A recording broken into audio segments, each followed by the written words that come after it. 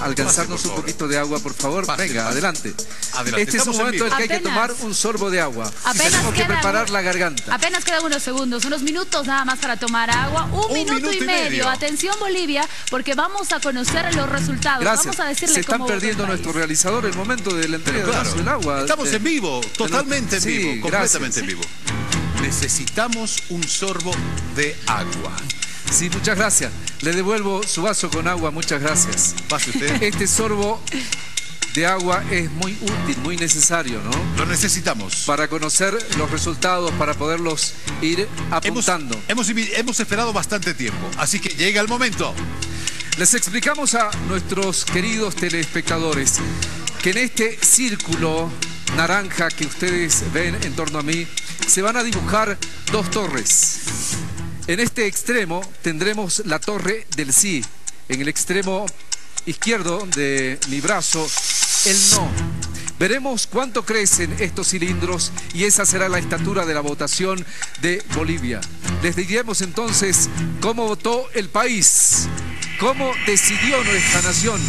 En cuestión de segundos nada más, cumpliendo con rigor y mucho celo, aquella disposición del órgano electoral que nos dice partan a las 8 de la noche para que tengan una buena base de datos para informar. Este es recuento de datos en tiempo real. Datos no oficiales de Mori, pero que resultan de un escrutinio de los votos. Atención país, Bolivia votó del siguiente modo.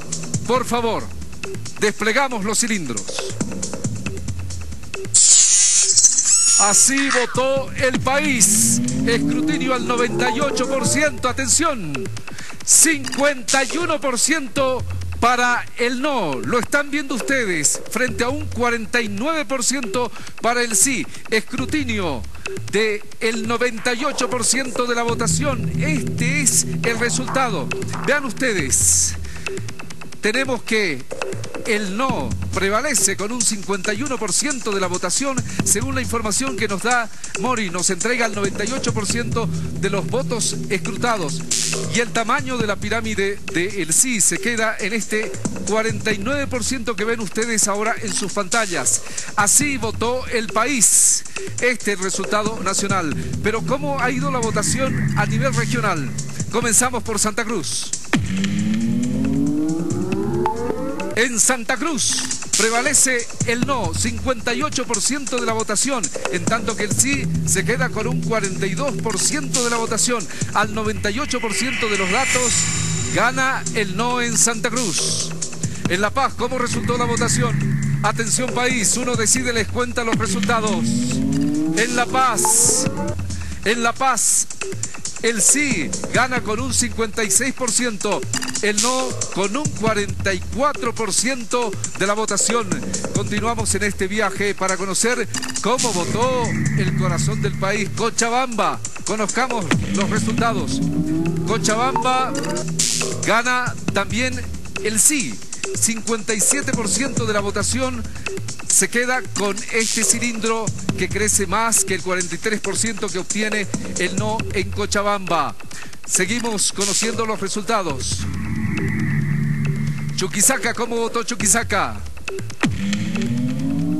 En Chuquisaca Gana el no con un 58% de la votación, un 42% para la votación por el sí. La votación que nos da Mori al 98% de los votos escrutados. Es importante conocer región por región. Ahora conozcamos los datos de Potosí. Potosí decide de la siguiente forma. 59% para el no, 41% por el sí. En Potosí prevalece el no en consecuencia. Seguimos en nuestro viaje y vamos al Beni. ¿Cómo votó el Beni? Atención país, uno decide, les informa en cadena nacional. En el Beni, 60% por el no, 40% por el sí. Así votó el Beni. En Oruro, ¿cuál es el resultado de Oruro? Conozcamos los resultados, por favor. Allí gana el sí. Muy disputado el final, 51% a 49. En Oruro, en Pando, esta plaza que es siempre muy disputada. En Pando, el no gana con un 56% y tiene un 44% el sí. Lo estamos viendo aquí en Uno Decide. Seguimos conociendo finalmente, vamos a Tarija. ¿Cómo votó Tarija? El 60% de los tarijeños le dicen no a la reforma eh, de la Constitución, el 40% la apoyaba.